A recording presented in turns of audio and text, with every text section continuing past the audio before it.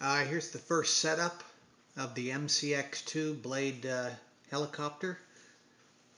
And I have an 808 keychain camera mounted. I used double sticky foam.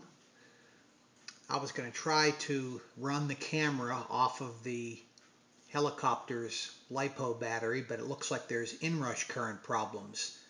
So I'll have to upgrade maybe to the 150 milliamp battery and see if it works.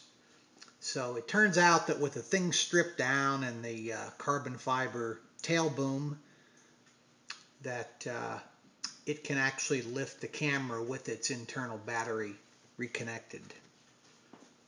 So everything's functional. And we'll spin it around here so we can uh, see what I did. You see the just have the sticky foam under the uh, the legs, the skids, and then I actually peeled back a little bit of the sticky foam just so that that plank is sticking to the uh, skids. And then I stuck another piece between the battery just to hold it in there. Right now the camera is floating free, so there's a little bit of vibration, so I'm going to have to take some sticky foam and kind of make the camera more rigid. Let's see if we can bring that in closer. So there it is.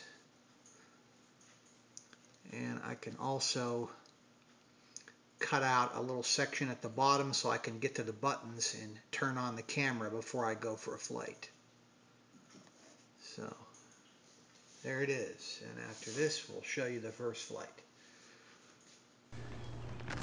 First flight outside and see how this works.